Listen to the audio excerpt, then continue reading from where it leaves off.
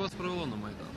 Е, привело те, що я не зміг е, спокійно відреагувати на те, що Беркут побив тих студентів, ну таких же самих громадян, студентів, таких як я. Що ви збираєтесь далі робити е, після до- подій? До останнього стояти, хоч через кров, але все рівно